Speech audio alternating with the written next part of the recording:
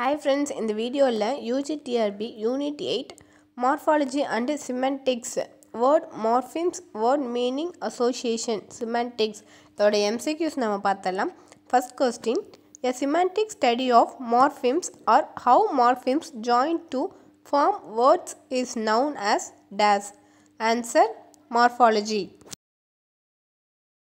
second question dash may consist of a single morpheme or a number of morphemes.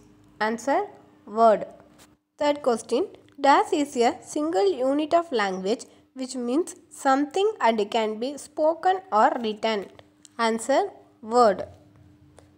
Fourth question The terms morpheme and morph are thus comparable to the term form and substance given by Dash. Answer F. de Saussure. Fifth question Allomorphs.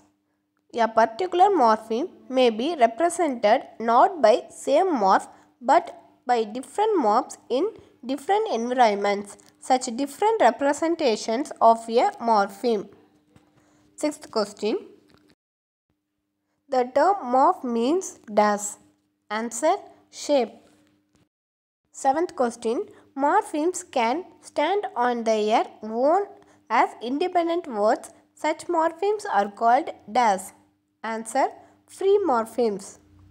Eighth question Example for free morphemes unhappy, disregarded, boyhood. Morphemes such as happy, regard, boy can stand on their own as independent words. Ninth question Such morphemes are cannot stand on their own as independent words. They are always attached to a free morpheme or free form. Such morphemes are called dash. Answer bound morphemes. Tenth question Example for bound morphemes. Answer undisheadhood. Eleventh question Tree diagram showing the morphological analysis of the word unknowingly. Unknowingly affix and base knowingly. Knowingly base affix base knowing affix ly. Stem root no affix ing. Twelfth question The stem that cannot be further split up is also called dash. Answer root. Thirteenth question Affix may be divided into dash. Answer prefix and suffix. Fourteenth question On another dimension, affix are classified as dash and dash. Answer inflectional affix and derivational affix. Fifteenth question In what is inflectional affix?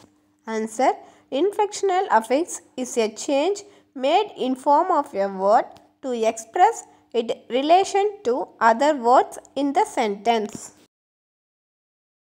16th question What is derivation affix?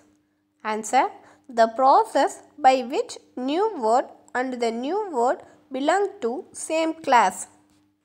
17th question Semantics is the study of dash. Answer Meaning in language. 18th question Dash is the meaning of individual lexical items. Answer Lexical or word meaning. 19th question What are the two types of lexical or word meaning? First, open class lexical items. Noun, verbs, adjectives, adverb. Second, closed class lexical items. Preposition, conjunction and determiners. 20th question Dash is the relation that holds between a more general and more specific lexical item. Answer Hyponymy. 21st question The logical meaning which indicates the essential qualities of a concept which distinguish it from other concepts. Answer Denotative meaning. 22.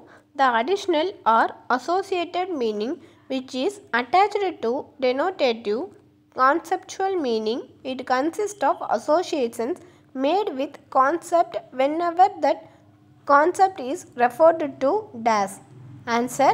Connotative meaning. Next.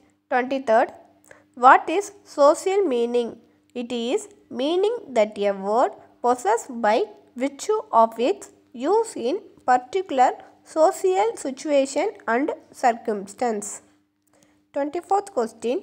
What is thematic meaning? Answer. It lies in the manner in which a message is organized for emphasis. Next 25th question. Dash is concerned with word and sentence meaning pragmatics entails utterance meaning. Answer semantics. Thank you for வாட்சிங் friends இந்த video உங்களுக்கு பிடிச்சிருந்துச்சின்னா please subscribe பண்ணுங்கள் like பண்ணுங்கள் share பண்ணுங்கள் உங்களுக்கு எதுவும் doubt இருந்துச்சுன்னா நீங்கள் கமெண்டில் கேளுங்க. நான் கண்டிப்பாக ரிப்ளை பண்ணுறேன் உங்களுக்கு வேறு எதுக்கும் எம்சிக்யூஸ் வேணும்னாலும் சொல்லுங்கள் நான் அப்லோட் பண்ணுறேன் யூஜிடிஆர்பி யூனிட் எயிட் சிலபஸ் ஃபுல்லாக வந்து கவர் பண்ணிட்டேன். எல்லாத்துக்கும் எம்சிக்யூஸ் போட்டாச்சு. உங்களுக்கு வேணும்னா சேனலில் இருக்க ப்ளேலிஸ்ட் செக் பண்ணி பாருங்கள் ஃப்ரெண்ட்ஸ் பாய்